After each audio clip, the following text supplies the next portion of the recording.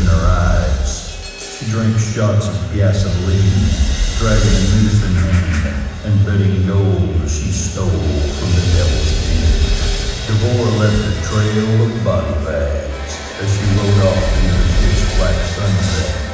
Legend has it that if you whisper her name on a night when the moon is full, Devora will appear. Tonight, the moon is full.